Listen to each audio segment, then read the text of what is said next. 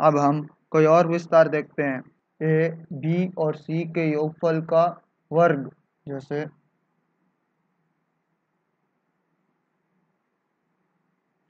इसके वर्ग को हम ऐसे लिख सकते हैं।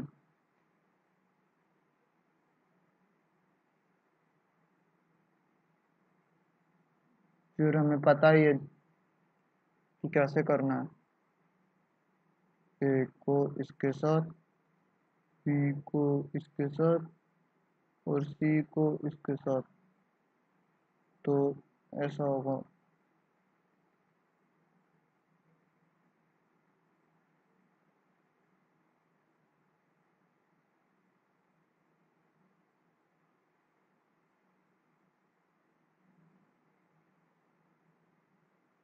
अगर हम देखें तो इसे ये ऐसा बनेगा।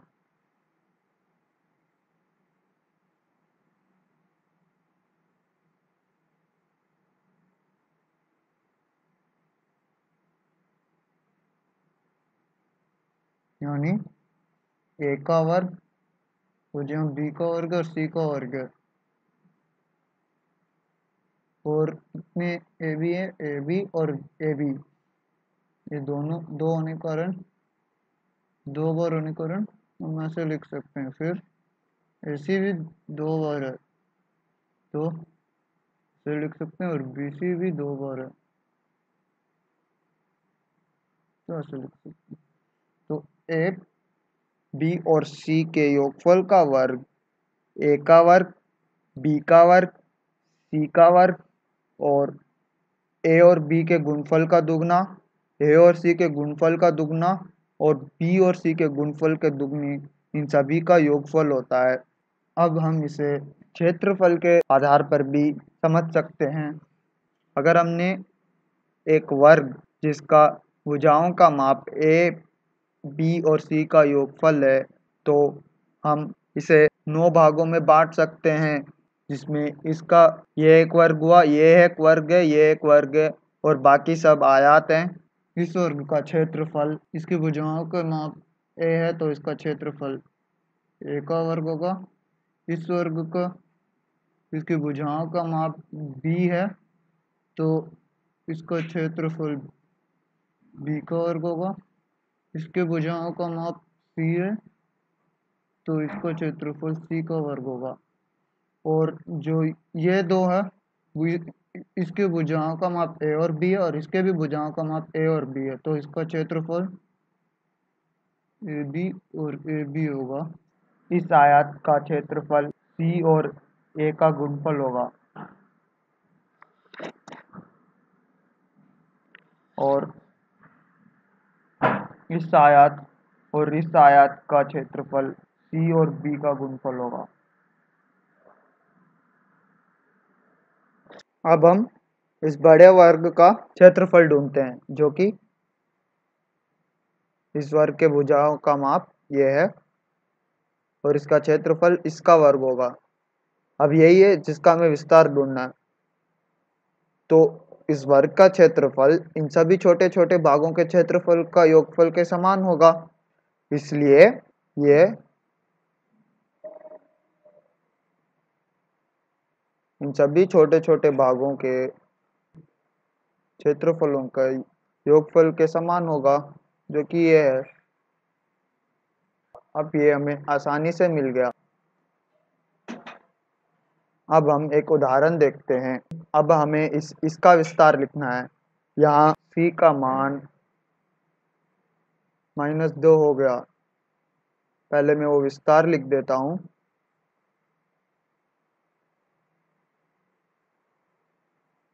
जितना जल्दी हो सके इन सभी विस्तार याद रखना बहुत आवश्यक है।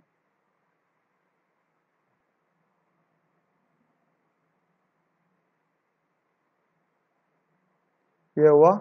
अब तो इसका विस्तार।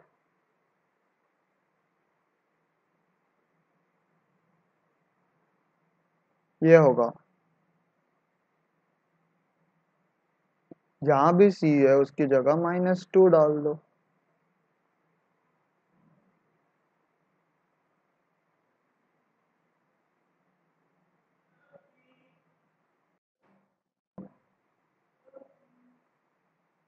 तो ये होगा।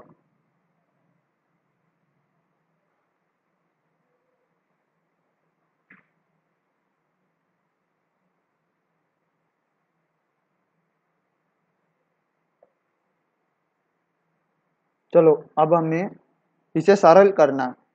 ये भी हम उसी प्रकार से कर सकते हैं, जिस प्रकार से हमने पहले बाकी प्रश्न किए थे।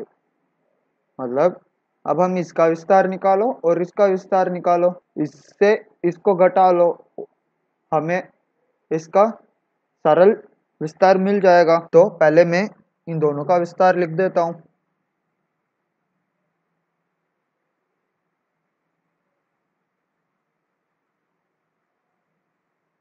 जो कि ये है।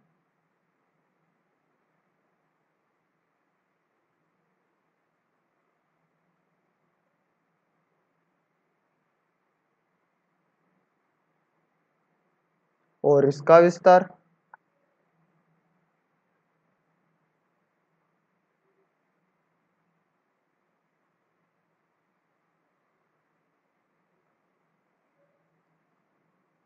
ये होगा ये हमने पहले भी देखा था। यहाँ भी वही है।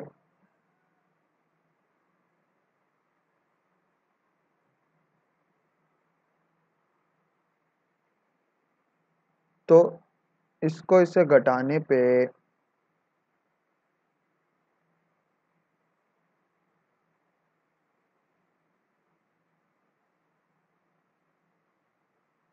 हमें ये दोनों समान है तो इसको इससे घटाने से ज़ीरो, इसको इससे घटाने से ज़ीरो, इसको इससे घटाने से ज़ीरो, इसको इससे घटाने से ज़ीरो, लेकिन ये दोनों ज़ीरो नहीं होगा, क्योंकि यहाँ एक घटाने का चिन्ह है। तो इसको, इससे घटाने पे इन दोनों का योगफल हो जाएगा, यानी ऐसा हो जाएगा, और ये भी वही बात हुई। तो ये ऐसा हो जाएगा। चलो अब हम किसी और चीज़ का विस्तार देखते हैं।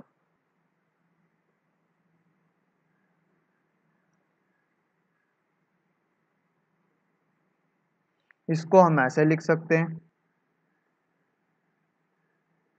ए और बी का योगफल और और बी के योगफल का वर्ग, इन दोनों का गुणफल। ये हमने पहले पढ़ा था तो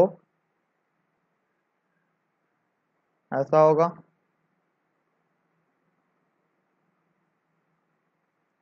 ये तो हमने पहले पढ़ा था। तो ये इसको इसके साथ और इसको भी इसके साथ। तो ऐसा होगा।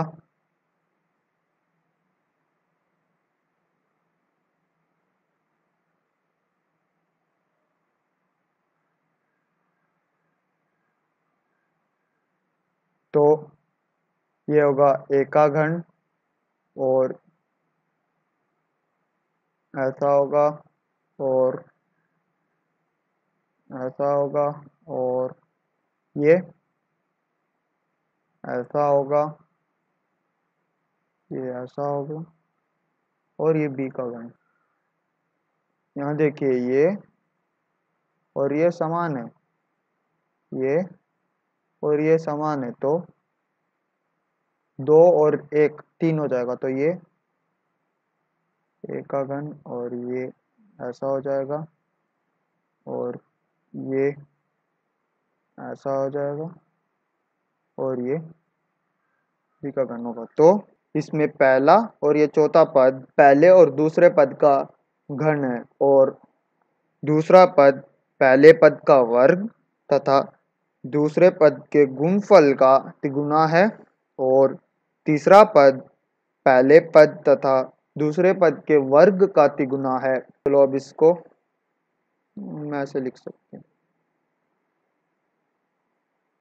ऐसे इधर उधर करें तो मतलब इसमें और इसमें ए और बी समान है तो ऐसा हो जाएगा। इस प्रकार हम इसे बहुत आसानी से याद कर सकते हैं। पहले का घन, दूसरे का घन और पहले और दूसरे का गुणफल का तिगुना और जो अंदर ए और बी का योगफल का इन सब का गुणफल। अब हम किसी और का विस्तार देखते हैं। का विस्तार? पिछले प्रश्न में बी की जगह अगर माइनस बी रख दें तो इसका विस्तार आ जाएगा। पिछले प्रश्न में का विस्तार था।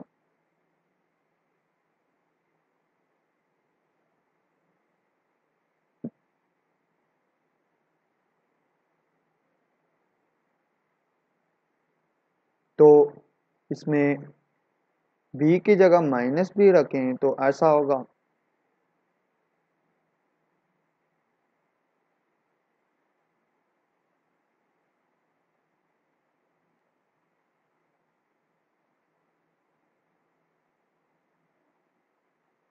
इसको हम लिखें तो ये ऐसा हो जाएगा।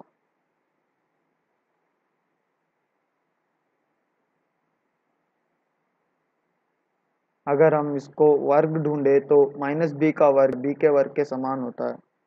लेकिन घन, माइनस बी का घन बी के घन के समान नहीं होता तो इसका विस्तार ये हो जाएगा।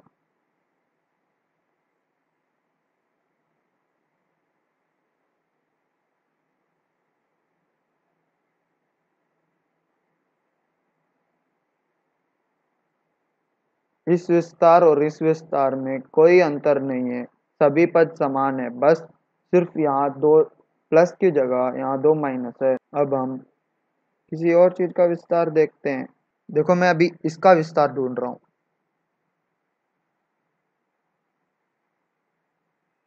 चलो, अब हम इसका विस्तार ढूंढते हैं पहले।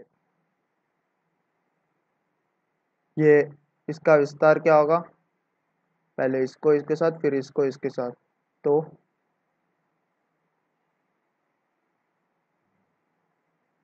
ऐसा होगा ये, और ये ऐसा होगा।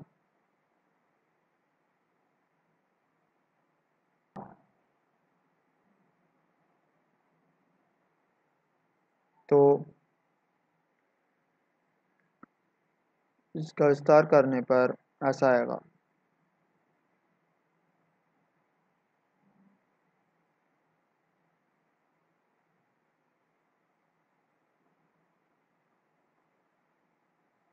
तो ये और ये समान है तो ये और ये कट जाएँगे। मतलब इसका और इसको घटाने, समान चीज़ों को घटाएँगे तो ज़ीरो होता है। ये और ये समान है तो ये भी घट जाएगा तो ये ये होगा। तो इसका ये और ये समान है। यानी इसका विस्तार ये हुआ। उदाहरण से अगर तुम्हें अगर ए का माप तीन है और बी का माप चार है, तुम्हें इसका घन शायद नहीं पता हो तो तुम ऐसे कर सकते हो।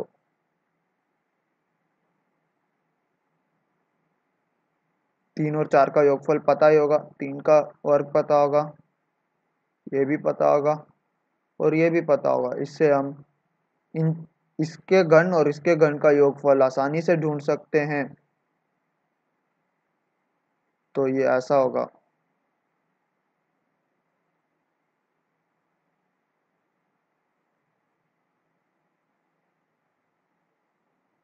याद करोगे तो ये भी हमने कहीं देखा है। ये ऐसा होगा। जो कि ऐसा होगा।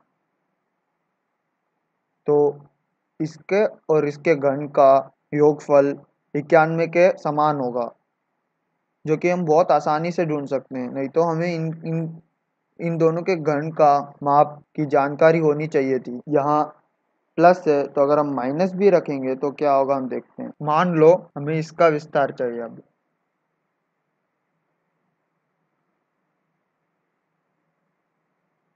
तो यह होगा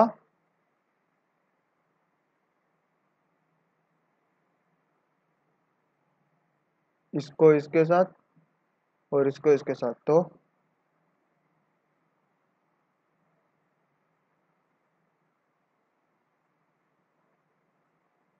ऐसा होगा।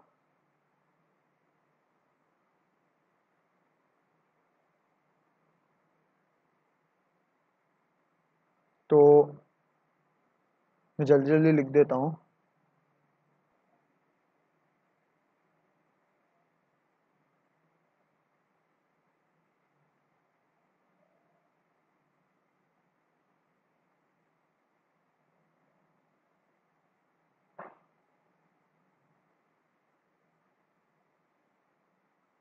ये कट जाएँगे क्योंकि हम सामान और सामान को घटाते हैं तो कट ही जाता है। तो ये ऐसा हो गया। ये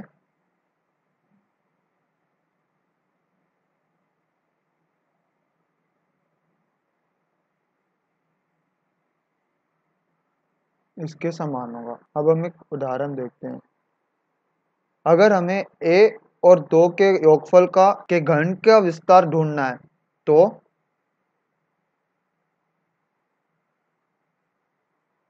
हमने पढ़ा था कि इसका विस्तार यह है।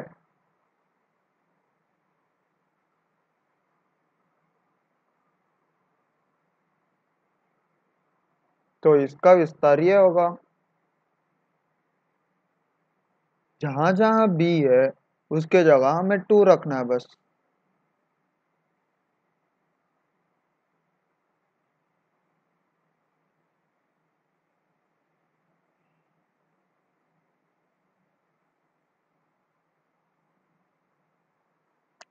तो a और दो फल, दो के योगफल का घन ये होगा।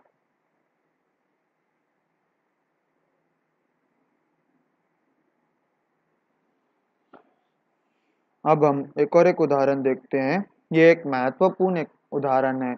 अगर हमें सत्रह का घन ज्ञात करना है, जो कि आसान नहीं है हमें सत्रह को सत्रह से गुना करना पड़ेगा, फिर उसके गुणफल को फिर से सत्रह के साथ गुना करना पड़ेगा।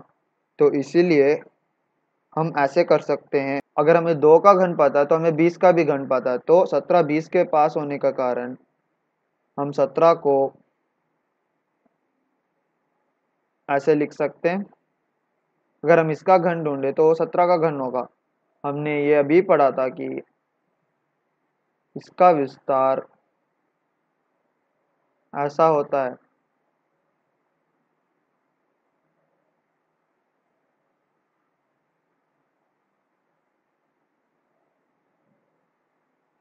तो ये ऐसा होगा।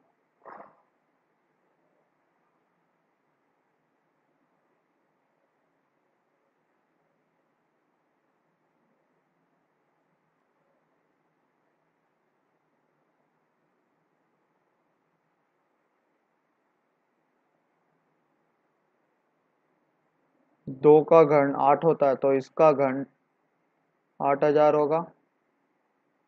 और बीस का वर्ग चार सौ होता है, चार और नौ का गुणफल छत्तीस होता है तो ये छत्तीस सौ होगा। और तीन का वर्ग नौ होता है, तीन, दो और नौ का गुणफल चौवन होता है तो ये पाँच सौ चालीस होगा। और तीन का घन सताइस होता है। तो इससे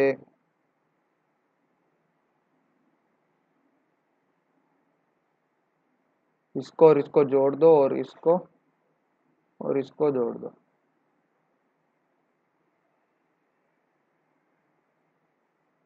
तो ये ऐसा होगा।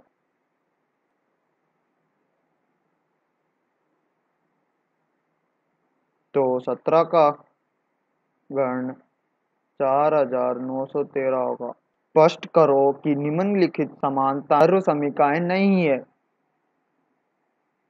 यहाँ एक समानता दी गई है। ये सर्व समीका है या नहीं, ये हम कैसे पता कर सकते हैं? हमने सर्व समीका की परिभाषा में पढ़ा था। अगर हम किसी भी चर का कोई भी मान दें तो दायां और बायां पक्ष समान होना चाहिए। यहाँ सिर्फ़ एक ही चर है जो कि है ए अब हम मान लें कि ए का माप शून्य है तो बाया पक्ष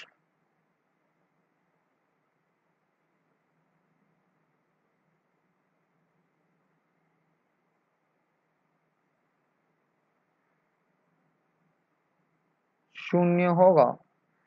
लेकिन दाया पक्ष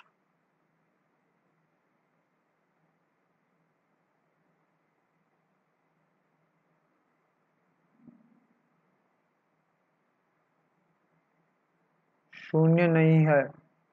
इसलिए यह सर्व समीकाएँ नहीं है। अब हम एक और एक उदाहरण देखते हैं। इसको हमें अभी सरल करना होगा तो हम इसे ऐसे लिख सकते हैं।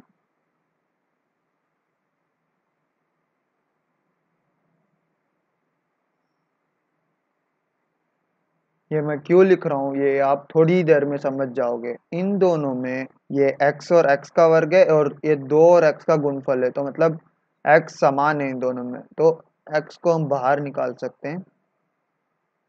वैसे इन दोनों में तीन समान होगा तो तीन को हम बाहर निकाल सकते हैं।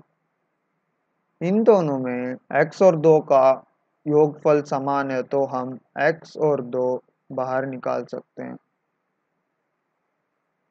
उल्टा जा रहे हैं। पहले हमने ये पढ़ा था, अब हम उल्टा कर सकते हैं। मतलब हम किसी को भी, किसी प्रकार में भी बदल सकते हैं। जो प्रकार आसान लगता है, हम अपने आवश्यकता के अनुसार उस प्रकार में बदल सकते हैं। हमें दोनों सीखना बहुत आवश्यक है तो ये इसका इसका विस्तार ये होगा।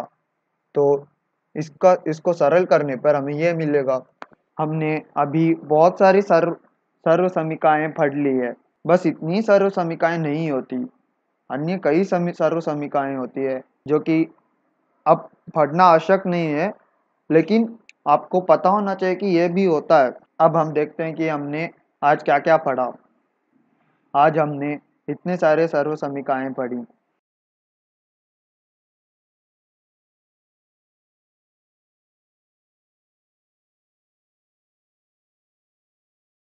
आज के लिए बस इतना ही। धन्यवाद।